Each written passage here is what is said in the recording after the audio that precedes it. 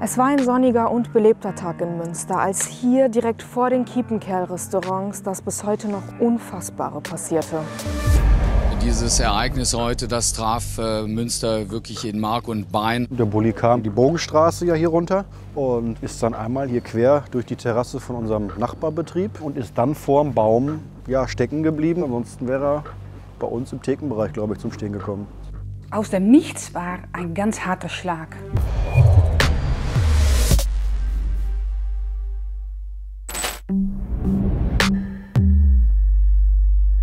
Ist der 7. April 2018, als Michael K. um 15.27 Uhr seinen Campingbus in die Menschenmenge steuert. Während auf der Terrasse Menschen um ihr Leben kämpfen, hat man auf dem beliebten und nahegelegenen Prinzipalmarkt noch keine Ahnung, was geschehen ist. Dort herrscht noch reges Treiben. Rund eine Stunde nach der Amokfahrt hat die Polizei alles weiträumig abgesperrt. Es wimmelt von Polizisten. Mittlerweile ist auch klar, der Amokfahrer ist tot. Er hat sich selbst erschossen. Noch am Kiepenkerl in seinem Van. Am Tag der Tat waren auch Mariette, die lieber Jet genannt werden möchte, und ihr Freund Ben aus Holland in Münster zu Besuch. Die beiden wollten dort nur was essen. Dass sie auf der Terrasse der beiden Kiepenkerl-Restaurants gelandet sind, war bloß Zufall. Andere Terrassen waren schon zu voll gewesen und im Kiepenkerl, relativ mittig, war noch ein Tisch frei. Du ähm, musst mir nichts beantworten, was du nicht beantworten möchtest. Ähm, es wäre schön, wenn du mir einfach offen darüber erzählst, aber nur so weit du auch möchtest und kannst. Ja. Wie, wie war so euer Tag? Was hast du gefühlt? Wie war es bis, bis dahin alles? Ja, wir waren eine gute Laune. Wir, waren, ähm, äh, wir hatten einen kurzen Film gehabt und ähm, wir haben äh, äh, gut gegessen und ein, ich hatte einen Rotwein getrunken und äh, er hatte noch ein Foto von mir, von mir gemacht, mir gemacht und wir waren äh, verliebt. und ja, das, das war, wij waren eine gute Laune, das war ein guter Tag. Du sitzt mit Ben, nichts ahnt, ihr genießt euer Essen, eure Ja. Getränke Ja. und dann? Dann war aus, aus, aus dem Nichts war ein ganz harter Schlag. Und ich äh, fiel nach rechts und nach links und ich lag unter einem Auto. Ab diesem Moment veränderte sich Jets Leben schlagartig. Der große und kleine Kiepenkerl sind mit die bekanntesten Restaurants in Münster, mitten in der Innenstadt. Ich treffe Moritz Ludorf, den Geschäftsführer vom kleinen Kiepenkerl. Zur Zeit der Amokfahrt war er nicht im Geschäft, er kam aber kurz darauf. Kannst du mir beschreiben, wie das hier abgelaufen ist? Von wo kam er und wo ist er reingefahren? Der Bulli kam hier bei uns die, ähm, muss ich selber überlegen, die Bogenstraße ja hier runter und ähm, ist dann einmal hier quer durch die Terrasse von unserem Nachbarbetrieb äh, und Kollegen und ist dann vorm Baum ja, stecken geblieben quasi, der dann dieses Auto aufgehalten hat. Ansonsten wäre er bei uns im Thekenbereich, glaube ich, zum Stehen gekommen. Von wie vielen Tischen sprechen wir jetzt gerade? Von beiden Restaurants, das sind ja zwei verschiedene unterschiedliche Restaurants, ähm, sprechen wir sicherlich von 60 Tischen, 200 Gäste, die hier auf dem Platz äh, zugegen waren. Diese Poller stehen eigentlich immer hier, nur nicht zur Zeit der Amokfahrt. In unmittelbarer Nähe fanden hier nämlich Bauarbeiten statt. Und damit die Autos aus dieser Straße rauskommen, hat man diese Poller hier entfernt. Und so hat Michael K. seinen Weg auf diese Terrasse gefunden. Durch eine Kameraaufzeichnung in einem nahegelegenen Geschäft ist klar, dass Michael K. acht Minuten vor seiner Tat mit seinem Van schon einmal am Kiepenkerl vorbeigefahren ist, ehe er dann mit 24 km/h direkt in die Außengastronomie fuhr. Als Jet die Augen öffnete, lag sie direkt unter seinem Wagen. Meine Hand war ganz kaputt meine Finger waren kaputt. Äh, da war ganz viel Blut überall. Aber ich habe in meiner Leiste eine ganz große Scherbe Glas. Und ein, äh, äh, eine Frau, die Arzt war, hat das Glas äh, da ausgezogen, aber dann bekam ich eine arterielle Blutung. Und äh, zwei Leute, die äh, zufällig in der Nähe waren, haben das dichtgedrückt und die haben mich das Leben gerettet. Und dann hast du dir mit Sicherheit gedacht, wo ist Ben? Ja, Ja, ich habe gleich, jeder, der in meine Nähe kam, habe ich gefragt, wo ist mein Freund Ben? Er sieht sowieso so aus. Wo ist er? Und man, niemand konnte ihn finden. Und da habe ich mich gedacht, von, das kann nicht, weil er hat neben mir gesessen. Wo sind jetzt überhaupt unsere ganzen Mitarbeiter abgeblieben? Äh, sind die betroffen? Das war zu dem Zeitpunkt gar nicht, gar nicht ersichtlich oder zu erkennen, wer überhaupt jetzt hier betroffen ist, äh, was passiert ist, äh, dass es eine bewusste Tat war. Man sieht im Prinzip nur diesen, diesen Bulli hier vor dem Baum stehen und drumherum dieses riesengroße Chaos. Dieses Ereignis heute, das traf äh, Münster wirklich in Mark und Bein.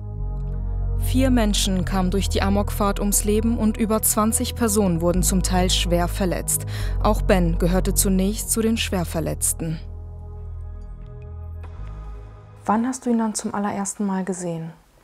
Das war in die Nacht. Die Nacht äh, um eins, um halb zwei, äh, ich, äh, bin ich nach der Intensivstation ge äh, gebracht, um Abschied zu nehmen. Und äh, da bin ich zehn Minuten bei ihm gewesen. Aber ich konnte nichts, er war im Koma. Also das, ja, das war Michael K. war zum Zeitpunkt der Tat 48 Jahre alt und lebte schon seit vielen Jahren in Münster. Laut Ermittlungen war der Amokfahrer psychisch labil. Als du erfahren hast, das war eine Amokfahrt, das war ja. ein bewusster Akt, was hast du in dem Moment gedacht? Ich hatte mich gedacht, dass, warum? Warum macht man etwas, so etwas? Warum muss man so viele Leute mitnehmen? Und ich war nicht böse auf ihn, weil ich hatte mich gleich gehört, dass es ein Mann war mit psychischen äh, äh, Problemen. Aber ich war sehr traurig darüber.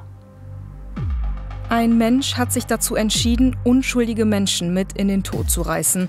Auch ich möchte wissen, warum. Darüber spreche ich mit Rechtspsychologin Nathalie Österlein.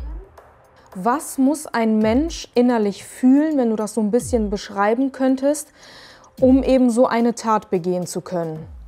Der hat auch ähm, ja dieses Dossier äh, geschrieben, in dem er sein Leben aufgearbeitet hat und da auch verschiedene ähm, Demütigungen, Erniedrigungen beschrieben hat.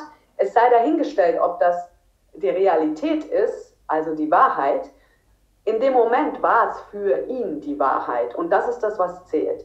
Er hat sich subjektiv gekränkt gefühlt und diese Tat ist eine Inszenierung der Rache für diese Kränkungen gewesen. Schon am 29. März, also neun Tage vor der Tat, kündigte Michael K. seinen Suizid per Mail bei Freunden an. Die Polizei wurde verständigt. Die Beamten trafen Michael K. aber nicht in seinen Wohnungen in Münster und Sachsen an und sahen darüber hinaus auch keinen Handlungsbedarf. Das Schreiben ging an ca. 40 Personen. Über eine mögliche Tat hat er aber nichts geschrieben. Ben wurde insgesamt 48 Mal in Münster operiert. Die Chance, dass er überhaupt die erste Nacht überlebt, lag bei 5 Prozent. Doch es kam anders. Ähm, und da hatte ich mich gedacht, ja, dann, das, das schafft er nicht. Aber ich hatte es gehofft, dass es der natürlich doch schaffte. Und er hat es geschafft, die erste Nacht. Und er hat noch vier Monate gelebt. Und wir haben viermal Abschied genommen, weil er sterben soll. Aber immer kam er wieder raus. Aber am 29, 29. Juli ist er wirklich gestorben. Und das letzte Gespräch, kannst du dich noch daran erinnern? Das letzte Gespräch war da sehr, er, er wollte nicht mehr. Er hat so viel Schmerzen, so viel äh, äh, Ungemak und so viel Schmerzen, dass, dass ich wollte nicht mehr leben. Und ich versuchte nochmal, um ihn positiv äh, zu machen, aber er wollte nicht mehr. Und dann, dann ist er wieder in eine Koma gekommen und nicht mehr wach geworden. Die Ermittlungen zu dem Fall wurden nach zwei Jahren eingestellt. Nach Abschluss der Ermittlungen steht für die Staatsanwaltschaft Münster fest, dass es sich bei dem Beschuldigten um einen Alleintäter gehandelt hat. Ein strafrechtlich relevantes Versäumnis von anderen Personen oder staatlichen Behörden ist nicht zu erkennen. Ich wollte, dass die Leute, die so krank im Kopf sind, dass die schneller ähm, gefunden werden ähm, und dass sie gut begleitet werden. Und dass ich nicht zu, seinem, zu, zu diesen schrecklichen Tat äh, komme. Das wünsche ich mir. Heute erinnert diese Gedenkplatte an die Opfer der Amokfahrt vom 7. April 2018. Unmittelbar nach der Tat gab es hier ein Meer an Blumen und Kerzen. Mit dem Hashtag Münster steht zusammen haben Münsteraner über Monate ihre Solidarität in den sozialen Netzwerken gezeigt. Diese Tat hat Münster erschüttert, aber nicht zum Stehen gebracht. Ich weiß noch ganz genau, als ich damals von der Amokfahrt erfahren habe und ich habe auch mehrere Nachrichten bekommen, ob bei mir denn alles okay sei, weil ich zu dem Zeitpunkt auch noch tatsächlich in Münster gelebt habe. Wie schaut's bei euch aus? Habt ihr damals die Berichterstattung verfolgt? Wenn ja, dann schreibt mir das mal gerne in die Kommentare. Und wenn euch das Video gefallen hat, dann lasst gerne einen Daumen nach oben, abonniert unseren Kanal und aktiviert die Glocke. Wenn ihr noch mehr sehen wollt, dann schaut euch doch gerne die Videos von meinen Kollegen an.